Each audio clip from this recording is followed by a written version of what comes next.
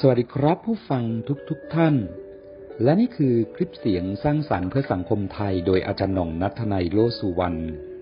จากสถาบันพัฒนาศักยภาพการสื่อสาร WLDC ครับ พบกันทุกๆวันกับคำชวนคิดแนวทางการดำเนินชีวิต วันนี้มีเรื่องราวมาเสนอคำว่า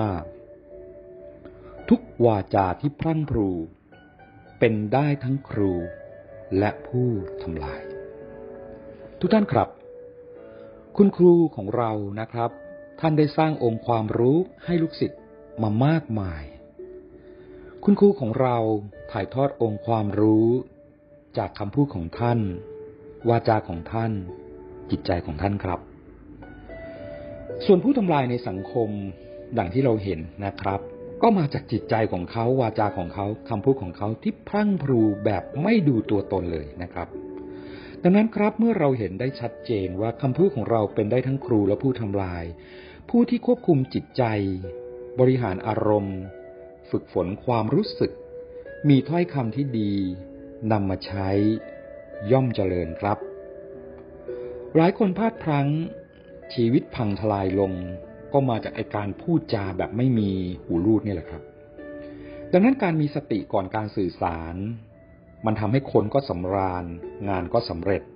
สังคมก็เปิดกว้าง และแน่นอนครับ ย่อมนำความสุขมาให้กับชีวิต โลกปัจจุบัน ไม่ว่าเราจะเปิดการสื่อสารไปที่ช่องทางใด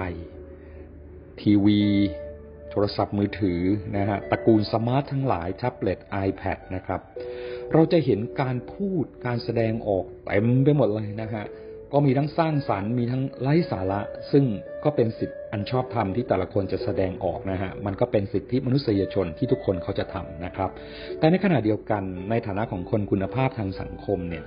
หากเราได้ดูแลทางด้านของวาจาที่เราจะพังพรูออกไปเนี่ยวันนี้เราจะ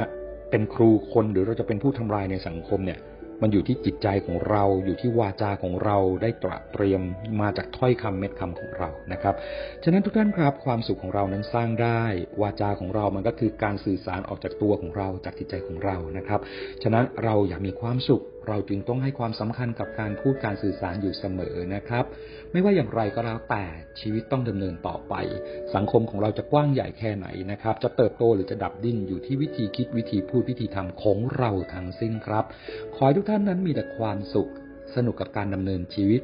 ผ่านพ้นโควิด ไปได้ด้วยดี มีแต่เรื่องราวดีๆ เข้ามาตลอดเวลาขอให้ท่านรุ่งเรืองร่ำรวยครับ พบกันใหม่ในวันพรุ่งนี้สำหรับวันนี้ สวัสดีครับ